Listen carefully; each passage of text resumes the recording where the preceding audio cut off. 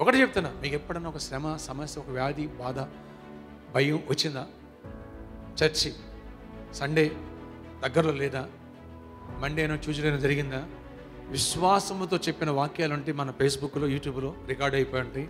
వాటిని వెతుక్కో. ఒకటికి రెండు సార్లు వినేసి రెండు మూడు మెసేజ్ ఎత్తిపెట్టి ప్రార్థన చేయి. సండే వచ్చే వాక్యం విని ఒకవేళ ఎప్పుడైనా విశ్వాసం తగ్గితే విశ్వాసాన్ని బూష్ చేసే వాక్యాలు.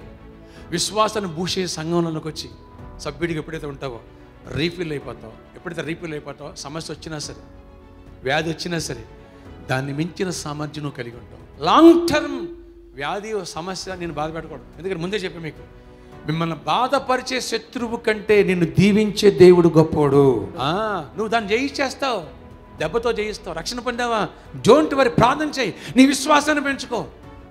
విశ్వాసం నీకుంటే నేను నీతో ఉంటా. ప్రభునే మాట. యాకోబు తన హృదయం నిండా ఆ సారలు మచ్చలు పొడలు ఆ తెలుపు నలుపు ఆ పొలల యొక్క ఆ రంగులన్నీ కూడా తీసుకున్నాడు మనసులోకి.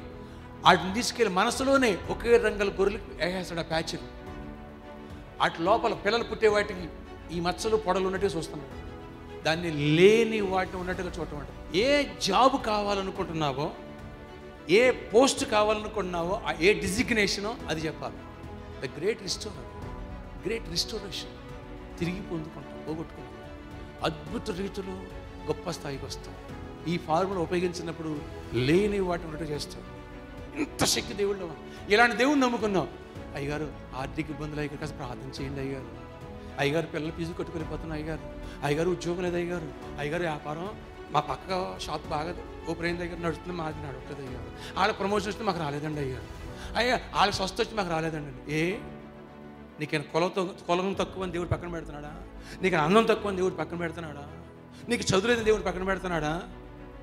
నువ్వు ఎలా ఉన్నావో అలా నిన్ను పుట్టించడం ఆయనకే ఇష్టమైంది. ఫ్రెండ్షిప్ చేయి. ఆశీర్వాదం మన వెంట పరిగెత్తుకుంటూ వస్తుంది.